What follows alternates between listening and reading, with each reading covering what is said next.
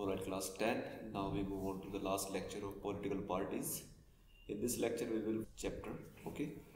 So political parties अब देखेंगे हम कि भारत में पॉलिटिकल पार्टीज़ का क्लासिफिकेशन किस हिसाब से किया गया है और क्या उनके लिए जो डेफिनेशन है वो रखी गई है तो नेशनल पार्टी सबसे पहले बात करते हैं कि हमारे देश में जैसे मैं बात करूँ तो आठ नेशनल पार्टी हैं जैसे बीजेपी कांग्रेस आप देखते होंगे जो पूरे देश में हैं तो नेशनल पार्टी किसे कहा जाता है और किसका जो स्टेटस है वो बिलो नेशनल पार्टी या बिलो डिफरेंट अदर पार्टीज़ रखा जाता है। तो नेशनल पार्टी सबसे बड़ी पार्टी होती है देश की। उसके लिए कंडीशन रखी गई है। The party win two percent of the seat in the Lok Sabha from at least three different state तीन कंडीशन में से कोई सी भी अगर कंडीशन पूरी करती है कोई पार्टी तो उसे नेशनल पार्टी को से नेशनल पार्टी का स्टेटस मिल जाता है। ये इलेक्शन कमीशन ऑफ़ इंडिया देता है पार्टी को नेशनल स्टेट या फिर रीजनल पार्टी का दर्जा रिकोगनाइज पार्टी या अनरिकोगनाइज पार्टी। तो नेशनल पार्टी बनने के लिए तीन कंडीशन रखी है। पहली है कि आपको दो परसेंट सीटें जीतनी पड़ेगी लोकसभा में तीन डिफरेंट स्टेट्स में। यानी आपको तीन अलग अलग स्टेटों में दो परसेंट सीटें आपको चाहिए ही चाहिए। दो परसेंट आप सोच सकते हो लगभग ग्यारह सीटें पूरे देश में से। जिस पार्टी के पास ग्यारह सीटें हैं, तीन अलग अलग स्टेट में, वो पार्टी, नेशनल पार्टी बनेगी। दूसरी कंडीशन क्या कहती है? At general election to Lok Sabha और legislative assembly the party poll six percent of votes in four state and in addition it win four Lok Sabha seat from any state or states या फिर लोकसभा के election में, या फिर local किसी state के election में पार्टी अगर सिक्स परसेंट वोट लेती है चार स्टेट्स में, चार राज्यों में अगर वो सिक्स परसेंट वोट ले लेती है लोकसभा के इलेक्शन में या जनरल इलेक्शन में और उसके साथ साथ चार सीटें जीत लेती है, ठीक है? किसी भी स्टेट में तो वो भी नेशनल पार्टी मानी जाएगी। सिक्स परसेंट उसने वोट लिए हो एमएलए के इलेक्शन में या एमपी के इलेक्शन में और साथ साथ चार लोकसभा सीट जीती हो। इसके बाद तीसरी कंडीशन है party gets recognition as state party four or more state एक ऐसी पार्टी जो चार से ज़्यादा स्टेट में या चार स्टेट्स में स्टेट पार्टी के तौर पर रिकॉग्नाइज की गई है। एक ऐसी पार्टी जो चार स्टेट की पार्टी है, उसे भी नेशनल पार्टी माना जाएगा। तो ये है नेशनल पार्टी की कंडीशन किस पार्टी को नेशनल माना जाएगा। इन तीन कंडीशन को जो पूरा करेगा, उसको नेशनल पार्टी कहेंगे। State party. स्टेट पार्टी किसे कहेंगे? A party that secure at least six percent of the total vote in election to the legislative assembly of a state and wins at least two seats in is recognised as a state party एक party जो state election में MLA के election में six percent vote ले और उसके साथ कम से कम दो सीट जीते, उसे स्टेट पार्टी कहेंगे। टोटल वोट में से सिक्स परसेंट वोट उसके पास हो और दो सीटें वो जीती हो तो वो स्टेट पार्टी बन जाएगी। According to this classification there are eight national parties in India Bharat में आठ नेशनल पार्टीज़ हैं। ये पार्टीज़ आपको याद रखना है कंपैरिजन हो सकता है, किसी एक पार्टी के बारे में पूछा जा सकता है।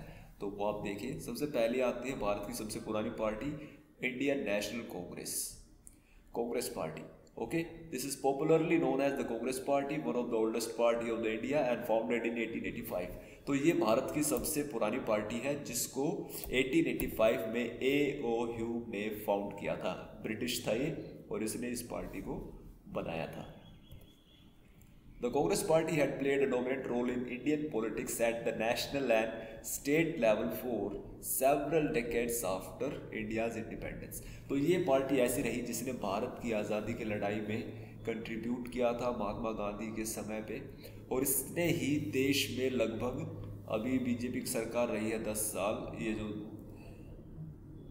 और इसके बाद एक जनता पार्टी की सरकार रही थी नहीं तो लगभग साठ पैंसठ सालों तक कांग्रेस का ही राज रहा है भारत में। ये अपने आप में बहुत बड़ी बात है। एक पार्टी का इतने लंबे समय तक किसी देश में रूलिंग रहना। भारतीय जनता पार्टी दूसरी पार्टी है BJP.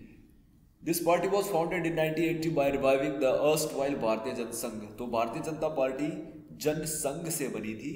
जनसंघ जो था वो श्यामा प्रसाद मुखर्जी ने इसको पार्टी का रूप दिया था। जो संघ आज भी है, आप उसको फाइंड आउट करोगे तो आपको पता चलेगा कि संघ क्या है। तो संघ से ही निकली है ये पार्टी जो हिंदुत्व को ऊपर उठाने में विश्वास रखती है। Building a strong nation modern India is the main goal of the party the BJP want to promote cultural nationalism और इस पार्टी का टारगेट है कल्चरल नेशनलिज्म कल्चरल नेशनलिज्म मतलब अपने देश के धर्म को, अपने हिंदू धर्म को प्रमोट करना।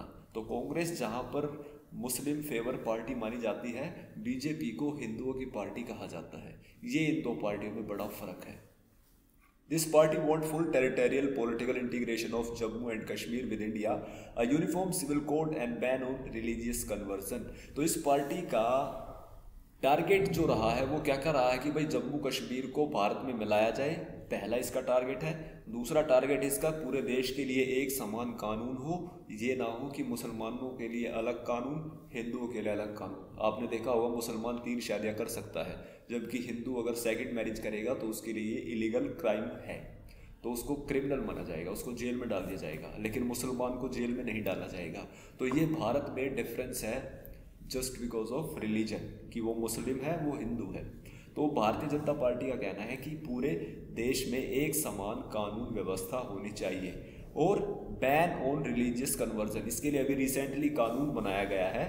योगी सरकार में यूपी पहला स्टेट बना है जिसने इसको लागू किया है कि कोई भी ज़बरदस्ती किसी का धर्म परिवर्तन नहीं करेगा। अगर कोई किसी को ज़बरदस्ती हिंदू या मुसलमान बनाता है तो उस पर लीगली एक्शन लिया जाएगा। ये है बीजेपी पार्टी की आइडियोलॉजी विचारधारा।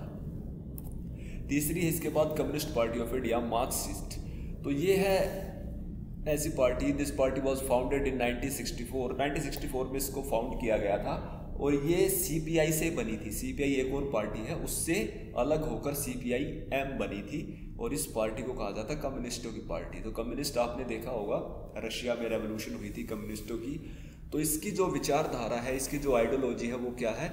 Marxism Leninism is the main philosophy of this party and it support socialism secularism तो ये पार्टी मार्क्सवादी और लेनिनवादी विचारधारा को सपोर्ट करती है और इसकी मेन फिलोसफी है कि सोशलिज्म और सेक्युलरिज्म को सपोर्ट किया जाए। मतलब समाज में या देश में प्रोडक्शन जो है, वो सारा किसके हाथों में हो? सरकार के या फिर जो उसमें काम करने वाले हैं, उनके हाथों में हो। कोई मालिक ना हो। प्राइवेट प्रॉपर्टी को ये विरोध करते हैं। This party enjoy strong support in West Bengal Kerala Tripura especially among poor effective worker farmer agricultural labour and the intelligentsia तो इंटेलिजेंशिया जो यहाँ पर है, इसे कहा गया बुद्धि। जो समझदार लोग अपने आप को जो पढ़ा लिखा मानते हैं उनकी। तो ये पार्टी जो है वेस्ट बंगाल, केरला और त्रिपुरा में काफ़ी ज़्यादा इसका होल्ड है और इसको जो फॉलो करते हैं वो है पुअर गरीब लोग फैक्ट्री के वर्कर किसान और एग्रीकल्चर किसान और बुद्धि वर्ग, जो इंटेलिजेंट क्लास है समाज की। तो वो ये मानता है कि समाज में अमीर गरीब का सिस्टम नहीं होना चाहिए मालिक मजदूर का सिस्टम नहीं होना चाहिए, सभी को एक समान माना जाना चाहिए। तो ये इसकी विचारधारा है। कम्युनिस्ट पार्टी ऑफ़ इंडिया, ये है कम्युनिस्ट पार्टी जो 1925 में बनाई गई थी आफ्टर द रशियन रेवोल्यूशन इस पार्टी को बनाया गया था कि भारत में भी कम्युनिस्ट आइडियोलॉजी को फैलाया जाए। तो रशिया से पैसा आया था इस पार्टी के लिए। रशिया ने इस पार्टी को फंड किया था। इस पार्टी का भारत की आज़ादी से कोई लेना देना नहीं था, ये लोग नहीं चाहते थे। भारत में डेमोक्रेसी आए, भारत में आज़ादी आए। इनका टारगेट था कि भारत में कम्युनिज्म आए, जिसका होल्ड रशिया जैसा देश संभाले। तो 1925 में इसको बनाया गया। It has the same philosophy as C P I M तो इसकी भी विचारधारा वही है जो सी पी आई एम की है। मतलब सेक्युलरिज्म और कम्युनिज्म सोच है इनकी। It become weak after the split in the party 1964 and led to the formation of C P I M तो उसके सी पी आई एम के बनने के बाद 1964 में सी पी आई जो है काफ़ी कमज़ोर हो चुकी है। भारत में इसकी अब इतनी प्रेजेंस नहीं है। It had significant presence in the state of Kerala West Bengal Punjab Andhra and Tamil Nadu इसकी जो स्टेट थे केरला वेस्ट बंगाल पंजाब आंध्रा में इसका होल्ड रहा है, लेकिन अब ना के बराबर लगभग अब इसकी शायद एक परसेंट या एक ही सीट है लोकसभा में। अब इसकी ये हालत हो चुकी है। Nationalist Congress Party NCP this party was formed in 1999 following a split in the Congress Party. Congress party से अलग होकर उन्नीस में एनसीपी पार्टी बनी थी। This party espouses democracy Gandhian secularism equality social justice and federalism इस party की विचारधारा है डेमोक्रेसी को फॉलो किया जाए गांधी की विचारधारा को फॉलो किया जाए, एक समानता हो, सामाजिक न्याय और फेडरलिज्म सिस्टम कैसा हो?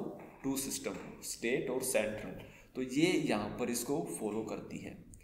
This is a major party in Maharashtra and has a significant presence in Meghalaya Manipur and Assam तो ये जो पार्टी है, सबसे बड़ी पार्टी कही जाती है जहाँ पर महाराष्ट्र में, और उसके अलावा मेघालय, मणिपुर और असम में भी इसका होल्ड है। Bahujan Samaj party form in 1984 under the leadership of Kanshi Ram Kanshi Ram ने 1984 में एक पार्टी बनाई थी। बहुजन समाज पार्टी, बहुजन माले सारा समाज, एक ऐसा समाज जो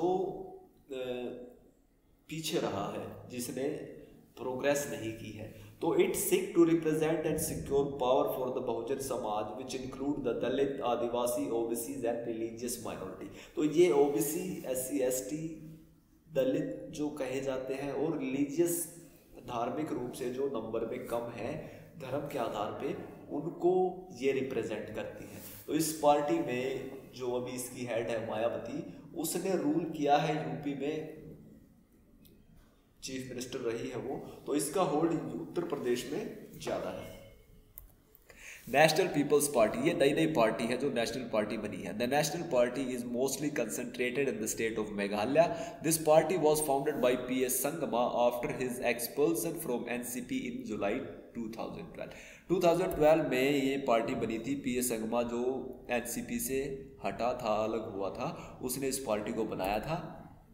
This accorded National Party status on 7 June 2019. It is the first political party from northeastern India to have attained this status. और ये National People's Party 2019 national party बनी है और ये पहली ऐसी पॉलिटिकल पार्टी है जो नॉर्थ ईस्ट से आती है और जिसको नेशनल पार्टी का दर्जा दिया गया है All India Trinamool Congress. The All India Trinamool Congress mostly active in West Bengal. The party is led by its founder and current uh, current chief minister of West Bengal Mamata Banerjee तो all India Trinamool Congress इसके बाद आती है, जिसको ममता बनर्जी जो है, जिसने इसको फाउंड किया था और जो सीएम है वेस्ट बंगाल की।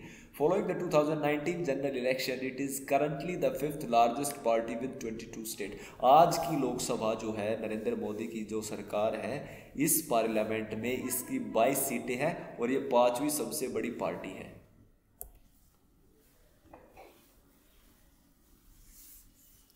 राइज ऑफ़ रीजनल पार्टीज़ इसके बाद नंबर आता है रीजनल पार्टीज़ का। रीजनल पार्टीज़ मतलब जो स्टेट वाइज स्टेट आपको दिखाई देंगी, बहुत सारी पार्टियाँ हैं।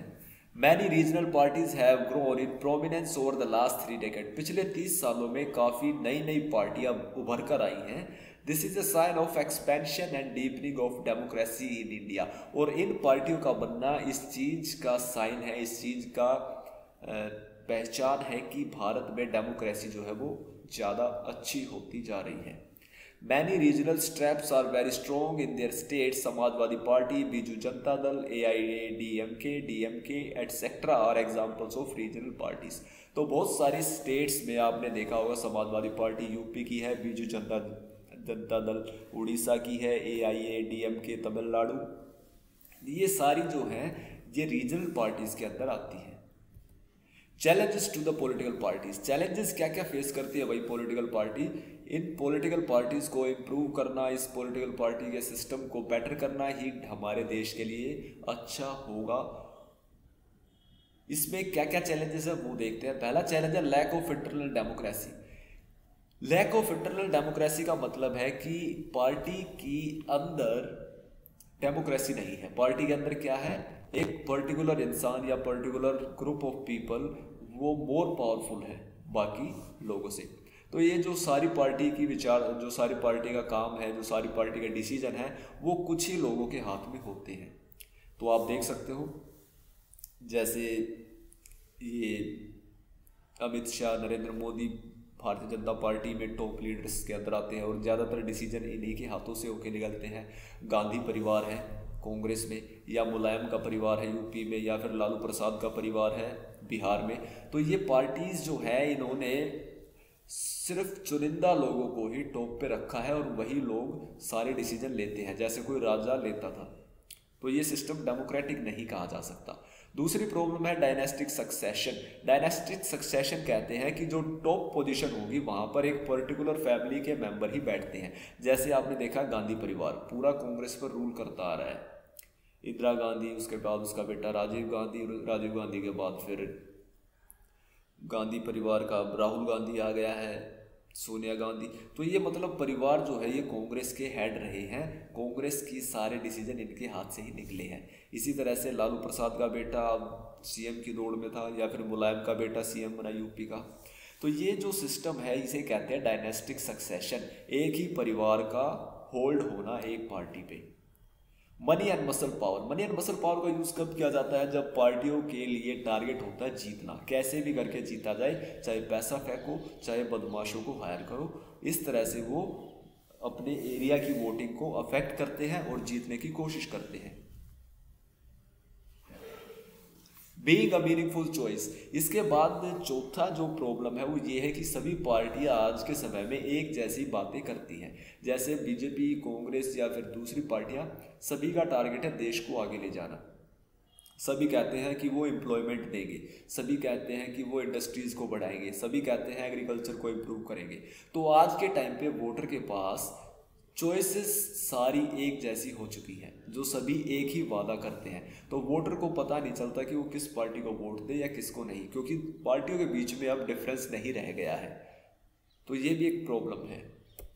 Way to reform political parties political parties को कैसे सुधारा गया है अब तक? तो कुछ स्टेप लिए गए हैं इसके लिए। पहला है anti defection law anti defection law जो है वो प्राइम मिनिस्टर जो थे राजीव गांधी, उनके लीडरशिप में लिया गया था। एंटी डिफेक्शन लो का मतलब था कि पहले जो नेता होते थे, वो जीतने के बाद पैसों के बदले अपनी पार्टी छोड़ के दूसरी पार्टी में शामिल हो जाते थे। क्योंकि हर पार्टी चाहती थी सरकार उसकी बने तो वो क्या कर लेती थी? दूसरी पार्टी के नेताओं को अपने यहाँ पे मिला लेती थी, उनको पैसा वगैरह दे देती थी। तो इससे सरकारें बार बार गिरती रहती थी। डेमोक्रेसी हमारी जो थी, उसमें प्रॉब्लम होती थी। तो यहाँ पर यह डिसीज़न लिया गया कि भाई, अगर कोई नेता अपनी पार्टी छोड़ेगा तो वो जीता हुआ नहीं माना जाएगा। उसको फिर दोबारा इलेक्शन लड़ना पड़ेगा। इसे कहते हैं एंटी डिफेक्शन लॉ यानी पार्टी बदलने पे रोक लगा दी गई। इसे कहते थे दल बदलू कानून। तो दल बदलना, यानी पार्टी बदलना अब मना कर दिया गया था।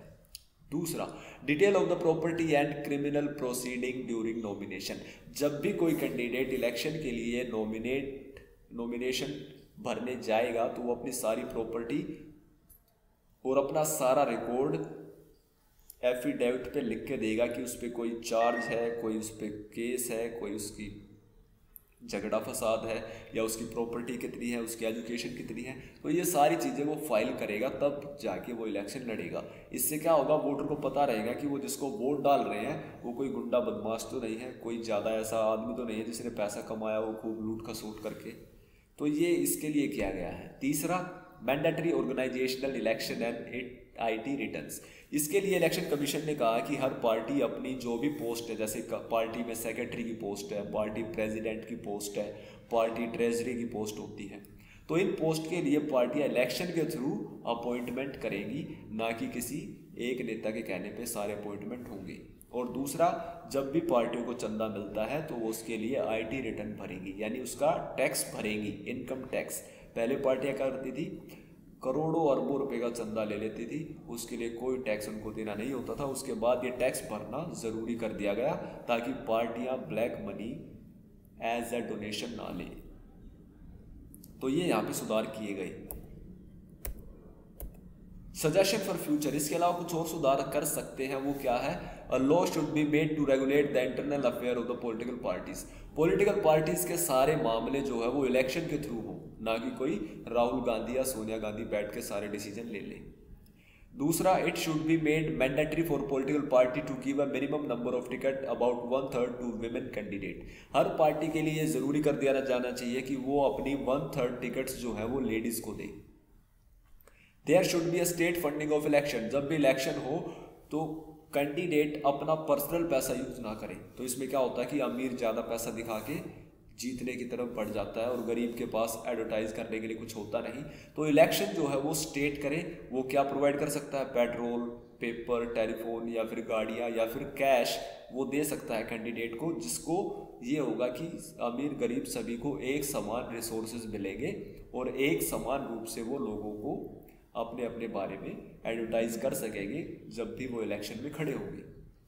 इसके बाद there are two other ways in which political parties can be performed and they are people's pressure and people's participation और सबसे इंपॉर्टेंट सबसे कारगर जो इसमें चीज़ है, वो है लोगों की अवेयरनेस अगर वोटर जागरूक होगा वोटर जगा हुआ होगा तो उसको पता होगा कि कौन पार्टी कौन कैंडिडेट ठीक है, उसके फेवर में है, देश की भलाई में है। तो आफ्टर ऑल सारी जो ज़िम्मेदारी है, वो जनता की है, नागरिकों की है, कि वो अपने देश को जैसा चाहे वैसा बना सकते हैं। अगर वो समझदार हैं पढ़े लिखे हैं, उनको अच्छे बुरे का पता है तो पार्टियाँ अपने आप को उसी अनुसार ढाल लेंगी।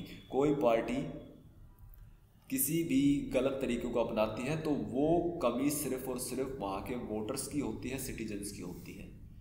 तो अगर भारत के लोग समझदार हों, अपना देश की भलाई के बारे में सोचे तो पार्टियों को भी वही करना पड़ेगा। कोई पार्टी ऐसी नहीं होगी जो लालू प्रसाद की तरह या